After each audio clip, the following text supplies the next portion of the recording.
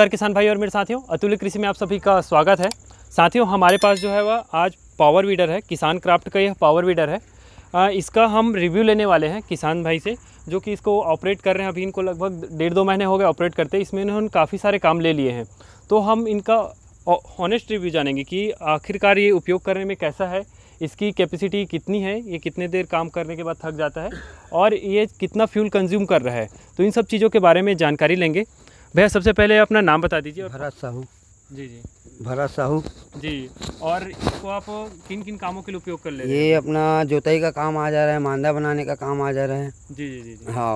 और फ्यूल इसमें कितना लग रहा है अभी आपको? अभी मेरे को एक लीटर पेट्रोल में कम से कम आधा एकड़ खेत जोत सकता हूँ। जी जी। हाँ। टाइमिंग कितना लग जा रही है वही एक घंटे में पूरा आधा एकड़ जी जी जी। हाँ। और ये चलाने में किस प्रकार है? मतलब आपको चलाने में तो अच्छा है। जी जी। हाँ ज़्यादा ताकत भी नहीं लगता है ना कुछ नहीं। जी बस चल चलाते रहो चलते रहेगा। जी। हाँ। और इंजन गर्म कितने देर में होता है? इंजन वही दस पंद्रह मिनट में एक बार थोड़ा रेस्ट देना पड़ता है पाँच मिनट दस मिनट। जी। हाँ। जी। और इसके बारे में कुछ कमी होगी या फिर फ़ायदे इसके बारे में बता सकते हैं? नहीं इसके बारे में तो बहुत फ़ायदा है। अगर ले लिए किसान भाई लोग तो बहुत अच्छा है इसके लिए। क्या है अपना हर काम में यूज़ आता है अपना। बाड़ी बना रहे हो केले का तो उसके लिए मांदा बनाने के लिए अच्छा है। जी। खेत खेत में कुछ डाल रहे हो तो जोतने के लिए अच्छा है। हाँ भाई सब बढ़िया है। और ऐसी कुछ कमी आप लोगों को लगी होगी जो? नहीं नहीं कोई कमी नहीं है। जी चलाने में आसान है। हाँ आसान है। आप कितने दिन में सीख गए इसको मैं तो इसको एक ही दिन में सीख गया। जी हाँ। काफ़ी अच्छा। चलाने में कोई दिक्कत नहीं है इसको। जी। हाँ। ठीक है। साथियों ये चलाने में भी बहुत आसान है। जिस प्रकार से बता रहे हैं इसको सर ने आसानी से चलाना सीख गए। और वेल स्किल्ड अगर पर्सन है तो वो उसको आसानी से चलाना सीख सकते हैं लेकिन अगर नहीं जानते तो आप बता दीजिए इसका गेयर वगैरह के बारे में थोड़ा सा बता दीजिए। ये अपना ऑन ऑन है चालू बंद करने का। जी। हाँ इसको चालू करेंगे अपन ऐसे। तो इसको यहाँ से खींचना पड़ता है। इसको यहाँ से खींचेंगे। हम्म, अपन ऐसा खींचने का ये इसको खींचने से चालू हो जाएगा। जी। उसके बाद अपना ये गियर है। ये न्यूट्रल में अभी। जी।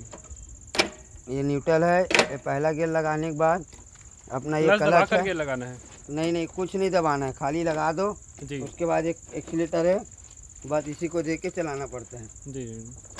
आगे पीछे करना है तो इसको न्यूट्रल करना पड़ता है ऐसे जी। उसके बाद इसको पहले दबाओ उसके बाद इसको दबाओ तो फिर रिवर्स आ जाता है। रिवर्स आ जाता है। हाँ ये अपना क्लच का काम कर रहा है? हाँ ये क्लच है अपना। जी और वो? एक्सीटर का काम कर रहा है। जी।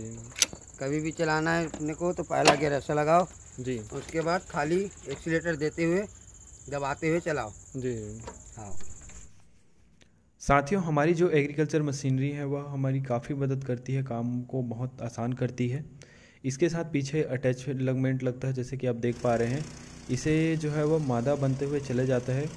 सामने जो ब्लेड लगे हैं वो जुताई का काम करते हैं और ये पीछे मादा तैयार करता है। जिससे कि हमारी दो काम एक साथ हो जाती है और छोटी सी मशीन से इतना सारा काम हो जाता है, जो कि फील इफिशेंट भी है और काफ़ी अच्छा भी है।